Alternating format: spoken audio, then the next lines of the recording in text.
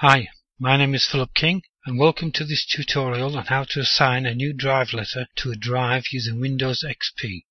Today I'm going to demonstrate how to change the drive letter on drive F to drive Q. This technique can be used on your computer's hard disks, CD and DVD drives and other removable media devices. All 26 letters of the alphabet are available for use, though you should still reserve drive letters A and B for floppy drives even if you don't have any. A word of warning at this point. Many MS-DOS based and Microsoft Windows based programs refer to specific drive letters for environmental or other variables, in particular drive C. If you modify drive C's drive letter, some programs, including your Windows setup, may not function correctly. Take my advice, do not change drive C's drive letter. Let's begin. Click Start. Click Settings and then Control Panel.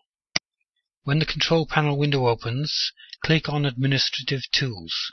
If you have the Performance and Maintenance item, click on it and then click on Administrative Tools. When the Administrative Tools window opens, double-click on the Computer Management item. When the Computer Management window opens, open the Storage item in the left pane, and then select the Disk Management item. This will display a list of available drives. Select the drive whose letter you want to reassign. In my case it's CD-ROM drive F and right-click to display the pop-up menu. Select Change Drive Letter and Paths from the menu. Select the required item and then click the Change button. Select the new drive letter from the drop-down list.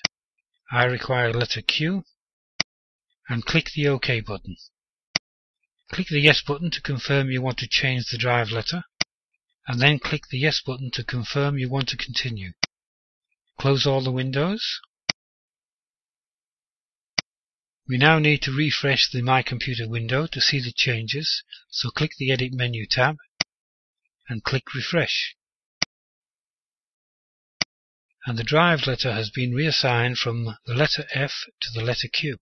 The great thing about using this method is that if you remove the drive, a memory stick for example, Windows will automatically assign the same letter to that drive when it is reconnected.